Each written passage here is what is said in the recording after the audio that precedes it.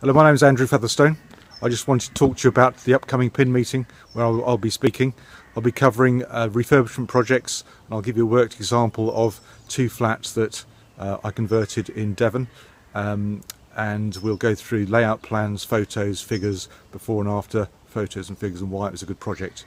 I'll then um, talk to you about how you then take those principles and build uh, a, a portfolio and multiply that in order to do bigger projects, how to scale up basically, which is what a lot of people ask me.